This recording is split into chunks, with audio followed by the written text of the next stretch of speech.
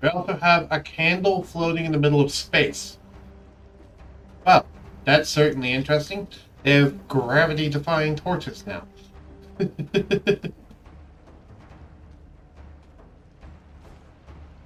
okay.